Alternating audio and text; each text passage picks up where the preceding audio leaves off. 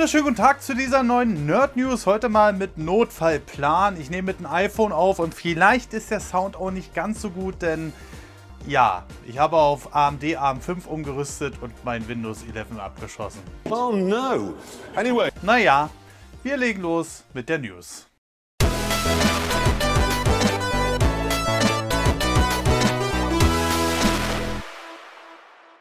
Starten wir erstmal mit Square Enix. Die haben nämlich offensichtlich jetzt ein paar kleine Problemchen. Nicht nur, dass man ja viele Spielemarken abgestoßen hat, weil die keinen Profit abgeschmissen haben, so zumindest laut Square, sondern tatsächlich gehen auch immer mehr Leute. Unter anderem zum Beispiel der Dragon Quest Produzent Ryota Ayami und der war seit 16 Jahren für die Dragon Quest Reihe zuständig. Ich hoffe jedenfalls, dass sich Square wieder fängt, denn mir ist die Firma immer noch sehr sympathisch und ja, mal gucken, was da jetzt noch so kommen wird in nächster Zeit. Tja, Ubisoft bringt ein neues Siedler raus und was soll man sagen, so dolle kommt das momentan bei den Leuten nicht an. Aber Volker Wertig, der damals dort originale Siedler gemacht hat, der wird wahrscheinlich jetzt demnächst Pioneers of Pagonia rausbringen. Und, was soll man sagen, es sieht aus wie Siedler 2 und basiert auch auf Rundentaktik. Ich habe erst vor kurzem einen GameStar-Podcast dazu gehört, hört sich auf jeden Fall ganz nice an. Mal sehen, was da so rumkommen wird. Sollte man sich auf jeden Fall auf die Liste schreiben. Ist leider nicht so eingängig wie die Siedler als Name, aber vormerken kann man sich das Ganze ja mal. Ja, die Farbe werde ich heute mal nicht ändern, sonst muss ich hier immer das iPhone umstellen. Deswegen gehen wir jetzt einfach mal zum Xbox-Part und auch da gibt es ein paar neue News-Themen. Wir starten erstmal mit Tom Clancy's Splinter Cell Blacklist. Und ja, was soll man sagen? Eigentlich wurden die Online-Server im September 2022 abgestellt und jetzt laufen die wieder. Ihr könnt jetzt auf der Xbox 360 wieder online spielen. Warum das so ist, das weiß momentan noch niemand so richtig. Vielleicht liegt es auch ein bisschen an dem Fanprojekt, das Xbox Live für die Xbox 1 wiederbelebt hat und Microsoft sich da vielleicht nicht so die Wurst vom Teller ziehen lassen will, obwohl es das für die 360 noch nicht gibt. Na, mal schauen. Man kann ja einiges bewegen als Fans. Ein Spiel, auf das was ich dringend warte, ist Atomic Heart. Denn das Ding kommt direkt für den Game Pass raus und sieht meines Erachtens nach fantastisch aus. Jetzt hat der Hersteller allerdings die Systemanforderungen dafür bekannt gegeben und ich packe die jetzt einfach mal in den Xbox-Part, weil ich die wahnsinnig spannend finde und das eventuell ein Titel sein könnte, der in höchsten Einstellungen auch auf der Xbox Series X läuft mit richtiger Optimierung. Denn tatsächlich hat das Spiel relativ niedrige Anforderungen. 4 GB RAM, eine GTX 960 oder eine RX 390 und gerade mal ein Quad-Core-Prozessor sollen es sein,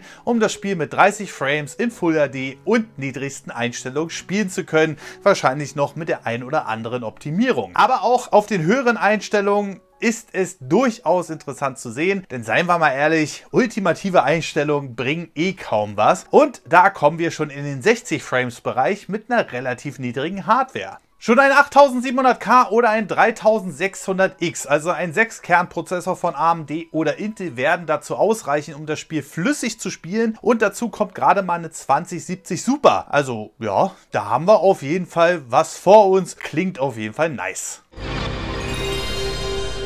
Schnellen wir mal rüber in die Sony News und auch hier gibt es einige interessante Themen, denn nachdem ja Nintendo die großartige Direct abgehalten hat, fragt sich natürlich jeder, was kommt denn als nächstes von den anderen Herstellern. Und laut Jeff Grubb soll schon bis zum 9. März eine State of Play von Sony folgen. Er warnt allerdings, die großen Titel werden wahrscheinlich erst zum PlayStation Showcase zur E3 kommen und da soll man wohl bis Juni, Juli warten müssen dann. Das heißt, wir können kleine Software-Titel sehen und vielleicht auch nochmal eine Übersicht der PlayStation VR-Titel und auch das wird wahnsinnig interessant. Ich feiere die Brille nämlich hart ab, aber 600 Euro sind mir ehrlich gesagt noch ein bisschen viel. Aber die PlayStation VR 2 kriegt durchaus richtig Lobgesänge von verschiedensten Entwicklern. Beim Counter-Strike VR-Ableger Pavlov hat nämlich der Entwickler jetzt gesagt, das Ding ist besser zu programmieren als ein PC mit einer RTX 3090 Ti. Und das ist auf jeden Fall mal eine Aussage. Natürlich hat man das geschlossene System und mit allem drum und dran, was man da optimieren kann, aber für eines der ersten PlayStation VR 2 Spiele ist das schon Wahnsinn. Und was man aus einer Konsole rausholen kann, zeigt ja momentan an das Metroid Prime Remaster. Also vielleicht hat der Entwickler durchaus recht oder ist gerade einfach nur ein bisschen euphorisiert. Wenn ihr es nicht erwarten könnt, die PlayStation VR 2 selbst auszupacken, könnt ihr übrigens jetzt ein Unboxing-Video seitens Sony gucken und da werden die verschiedensten Sachen erklärt. Und da sieht man einfach, dass die VR-Entwicklung weit vorangeschritten ist. Zum Beispiel gibt es kleine Fächer, wo ihr eure Earbuds verstauen könnt, verschiedenste Einstellungsmöglichkeiten der Brille und vieles mehr. Schaut auf jeden Fall mal gerne rein, sieht auf jeden Fall mega nice aus. Und gerade bei der PlayStation habe ich schon erwähnt, Metroid Prime Remastered. Und das ist verdammt schick anzusehen, dieses Spiel. Und ich denke mir die ganze Zeit, das ist zwar ein Remaster und man sieht es auch irgendwie an allen Ecken und Kanten, aber es ist einfach ein Grafik-Showcase auf der Nintendo Switch. Ohne Pro, ohne Nintendo Switch 2 läuft es mit butterweichen 60 Frames und das ist richtig genial. Allerdings muss man dazu sagen, nicht nur die Retro-Studios haben daran gearbeitet, sondern insgesamt neun weitere Studios, unter anderem zum Beispiel Iron Galaxy. Also hier wurde eine ganze Menge Know-how, Potenzial und wahrscheinlich auch Geld in das Spiel reingesteckt. Finde ich jedenfalls richtig fantastisch. Werde ich mir zum dritten dritten in der Retail-Fassung holen und da gibt es mittlerweile das Cover. Und wer die Gamecube-Fassung kennt, ja, keine Überraschung.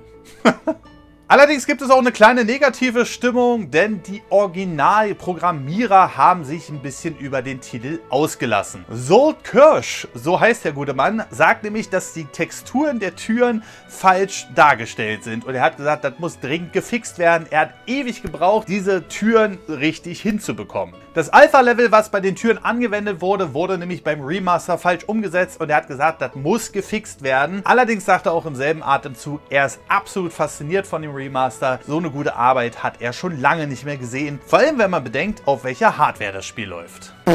Eben hatten wir schon die Verpackung von Metroid Prime Remastered, aber es gibt jetzt auch die offizielle Verpackung von Metroid Prime Remastered. Nein, natürlich Pikmin 4. Und was soll man sagen, sieht wirklich hübsch aus. Zumindest im Vergleich zur Grafik, die in der Direct gezeigt wurde, denn die hatte leider rein von der Auflösung und auch von der Texturdichte nicht mehr so viel zu tun mit dem, was wir als Teaser-Trailer gesehen haben. Und da habe ich ja damals schon in meinem Meinungsvideo vermutet, haben wir eventuell schon Next-Gen-Grafik gesehen, denn das war doch damals sehr ungewöhnlich für die Nintendo Switch. Da ist doch ein bisschen Schärfe und auch Detailreichtum flöten gegangen. Aber naja, es wird trotzdem ein großartiges Spiel. Wovon ich allerdings nicht so überzeugt bin, sind tatsächlich die Button Kaitos Remaster. Und ja, was soll man sagen? Die sahen jetzt nicht so dolle aus. Und das bestätigt sich auch ein bisschen aus der Richtung von Bandai Namco. Die Spiele sind zwar eine absolute Tradition auf dem Gamecube gewesen und haben sich auch viele Fans gewünscht. Allerdings, ja, das Spiel läuft in Full HD mit 30 Frames. Und ich finde, Guckt euch Metroid an, da hätte man einfach mehr rausholen können, meines Erachtens nach. Und nein, wir sehen mal wieder an Metroid, es hat nichts mit der Nintendo Switch Hardware zu tun, da richtig gute Grafik rauszuzaubern. Trotzdem natürlich eine schöne Collection. Ein zweites Detail gibt es allerdings auch noch, und zwar, naja, nur die japanische Sprachausgabe wird enthalten sein. Warum? Weil die englische teilweise klang wie durch eine Dose gesprochen und die hat man jetzt nicht überarbeitet und man hat auch nicht mehr die Originalfiles von den Originalaufnahmen gehabt und deswegen hat man die komplett rausgestrichen. Das heißt, wenn ihr die Remaster spielen wollt, dann müsst ihr euch an Japanisch gewöhnen.